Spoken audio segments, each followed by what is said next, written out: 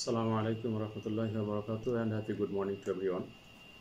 So I am Muhammad Amirul Alam, currently working at a Faculty of Sustainable Agriculture, University Malaysia, Sabah. And uh, I am also uh, as a lecturer, I'm teaching several subjects and part of one is the weed science.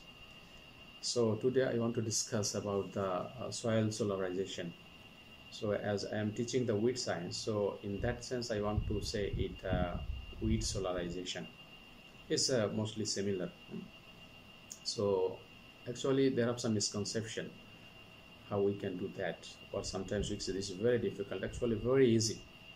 So very easy techniques. As we know currently especially those are developed countries huh, where there is the shortage of laborers shortage of workers is very high extremely high.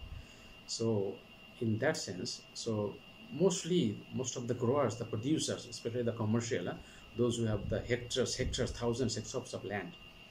So which is manually or mechanically or the which eco-friendly way or organic way it's very difficult to control the weeds.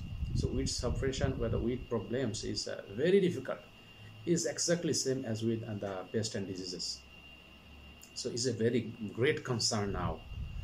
So in that sense solarization is very effective and very eco-friendly. There is there is nothing toxic here.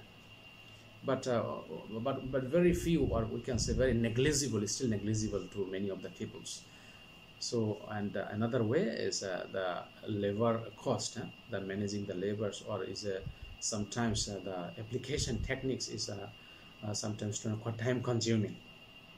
That is if you want to control the waste completely we have to use four to six weeks especially for the solarization but if you or if you want to use the chemical toxic chemicals synthetic chemicals so just apply and wait. Within one week, you can see that most of the weeds is already already burned, except some of the weeds like from the cyperus family. Those who have the tubers, the suckers, the stolons is under the soil, the, the underground soil. So which is very difficult to control. But still, they have some of the uh, what is called systemic uh, pesticide uh, herbicides that can be used, but it still is not so effective. But normal way is uh, they compare they compare how many workers how many levers we have to use for the chemic uh, for the mechanical way or the cultural way is is, is very ex expensive actually in that sense they move to use the chemicals just one bottle huh? 100 ml or you can say one liter but they're very big big drum like size? So comparatively the compared to effectiveness and the price is price is very cheaper. So but you can apply a hectares several hectares of land and using uh, the motor driven sprayer or even one one one worker that using the uh, backpack sprayer knapsack sprayer they can uh, apply in uh, several hectares of land within uh, a day or within one hour uh, if it's motorized one. So in that sense it's very cheaper and very effective it's these toxic chemicals just apply and wait to see the effect but if it is other cultural methods other uh, other uh, what is called the eco-friendly way like solarization so you have to apply you have to in you have to the input cost huh? you have need the workers the laborers the plastics or what are the materials we have and we have to wait for the to see the effect about one month huh? four to six weeks before that we also can depending on the types of which so today i want to show you stepwise how it is done As is, is a part of our regular uh, practices, regular practical lectures, practical class, practical demonstration of my regular students. I've tried to apply in our farm, Faculty of Sustainable Agriculture in uh, Sandakan, is uh, in Sabah, University of Malaysia, Sabah, Sandakan. So my regular students uh, is that the 21st May we practice that one. Is still waiting for the uh, four weeks to see the final effect, final result so sometimes you can say what is solarization so just you have to choose your land a plot or piece of land which is already covered by weeds different types of weeds so you have to choose based on or you have to prepare the plots eh? as we use the transparent plastic eh? So you have to buy the transparent plastic they have different size is available in the market so depending on that you have to buy that one then you have to uh, make a size of the plot based on the size of the plastic. So in our practical, we usually did is, is 2 meter by 2 meter as is a, a part of practical class demonstration. So you cannot use a big uh, piece plastic or big piece of land. So every group we have 5 to 6 students. So we uh, firstly we cut the plastic 2 meter by 2 meter based on the, uh, uh, the what is called the weight of the plastic. Yeah? Sometimes there are very wide, big weight is better but we bought the plastic is about 2 meter so in the length we fix about 2 meter then we measure the land the, the plot then that plot we cut from every side huh? four corners from every side 2 meter over 2 meter so every corner about uh, 5 to 10 centimeter uh, wide this drainage a slanting cut from one side to another side. So we remove the soil. Then after that we cover with the transplant plastic. Then for every corner we have to insert the plastic into the soil about 5 to 10 centimeter and fill up with the carted soil. The the the, the, the carted soil of the uh, or the which is called the clothes of the uh, soil huh? then from every side should cover and if there is extra or, or the some of the is called the air inside so you try to remove huh? as we have to make it air tight as much as we can. Then after that we have to cover from every corner then you have to wait mm. so it's very effective. You cannot imagine. Just after five days i tried to see. It's mostly all the weeds is almost dead. From the over of the plastic looks like almost dead. So uh, even within uh, that is less than seven days huh? After five days i tried to see but still we have to wait until we have uh, uh, tried to show you after four weeks. So now within five days you see it looks like almost dead almost dead. So i hope after four weeks there will be no weeds is alive. But still if we see it can be from the cyperus family. But if it is like that then we try to uproot whether the, the root system the tubers the stones the sucker is, is still uh, uh, viable or not. Hopefully will not be viable.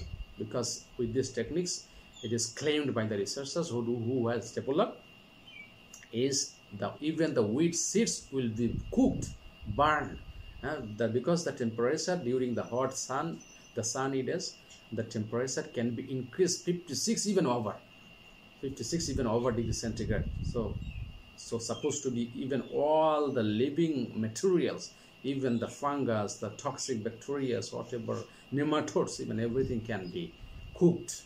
And this is the boiled huh?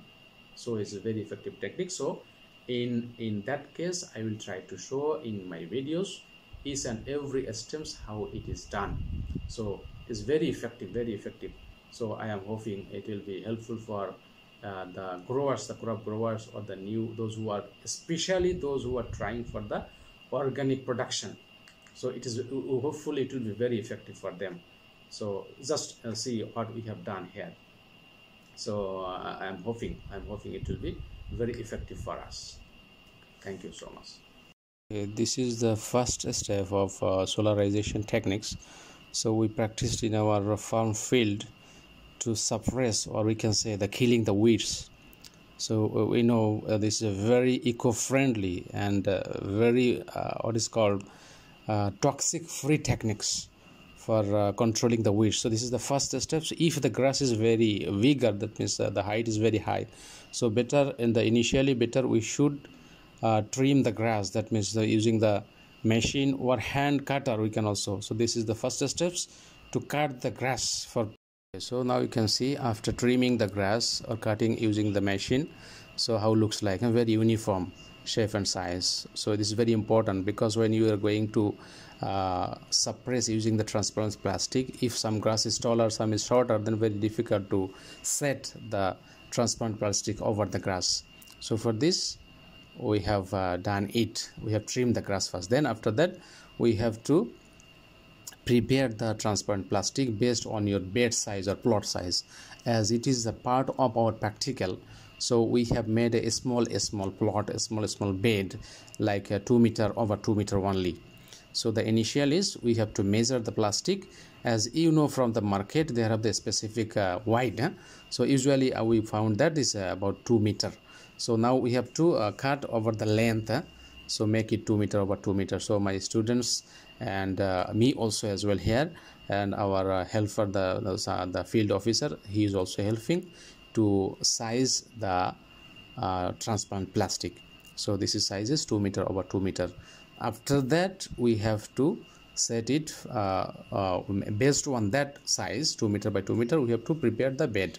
But you have to remember this is only for a part eh? very small plot. But is the practical field depending on the size of your bed size of your land size of your uh, field you are going to prepare. So depending on you. Okay?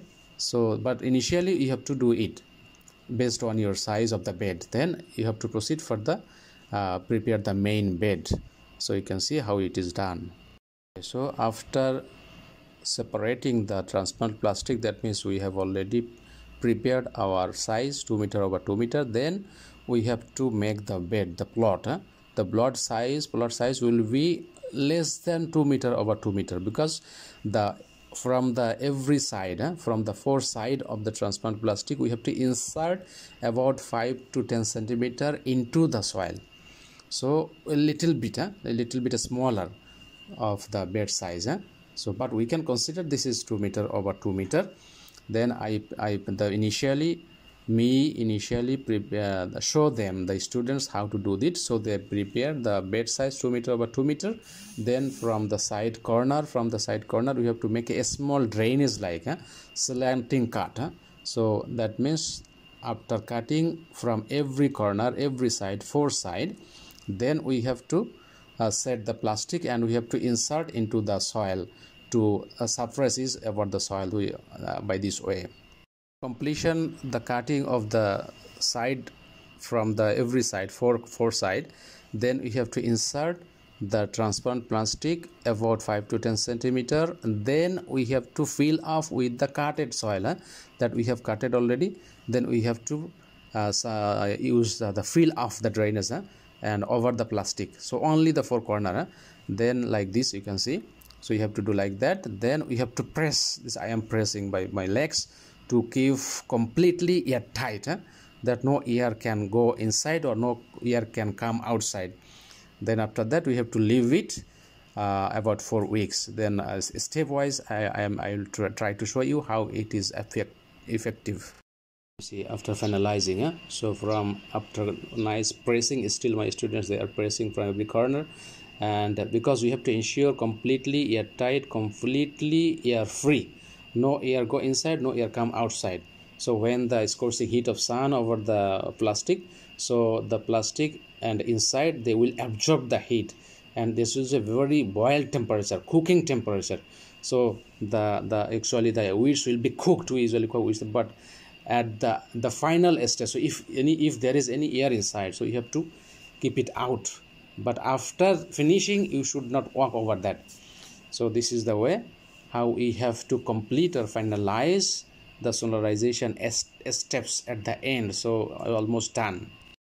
I'm trying to show the every plot huh, that i my student already about to finish every groove. So groove wise you can see the every plot how looks like. So from every corner you can see from every sides they have completely covered within the soil and we have tried to uh, push out all the uh, uh, air inside. Then you have to leave it huh? we have to leave it for about four weeks. This is a standard time. Uh, but in, in, in if it is depending on the grass we can also reduce the time. So this is the way you can see how it is working okay so this is the condition after solarization. So we did it one friday afternoon so you can see almost it looks like 100% dead. So you can see how effective uh, the solarization technique is. So we're actually supposed to be to wait until four weeks huh? it's still not one week yet. Last friday today is uh, tuesday. So it seems like 100% already dead. So very effective seems very effective. But we'll see if especially if, if there is any cyperus one huh? cyperus which are very uh, uh, resistant huh? especially they have the uh, stolon they have the tubers. So sometimes very difficult to control them but we'll see. Still we have to open it after uh, four weeks. But it normally seems like almost dead 100% dead. So later I will try to show at the end of four weeks how it looks like